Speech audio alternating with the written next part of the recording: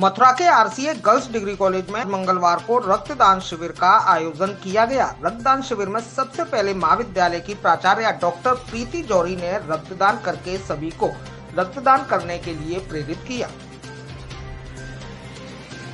जिसके बाद doctor Archana Pal, doctor Seema Sharma, doctor Neha Saxena, Madhumita Sharma, Pratibha Roshni, Pooja Paliwal Pooja Nagpal, Anju Sharma, Vimal Kumar, Pradeep Kumar और दर्जनों छात्राओं ने रक्तदान किया। बता दें कि रक्तदान शिविर का आयोजन राष्ट्रीय सेवा योजना की दोनों इकाइयों की कार्यक्रम अधिकारी डॉक्टर पूजा रॉय और डॉक्टर सुषमा अग्रवाल के निर्देशन में किया गया। इस अवसर पर खजानी इंस्टीट्यूट की डायरेक्टर शिप्रा राठी परिवहन विभाग से निरीक्षणकर्ता नीतू शर्मा, मेधा फाउंडेशन से पूजा नागपाल आदि लोग उपस्थित रहे।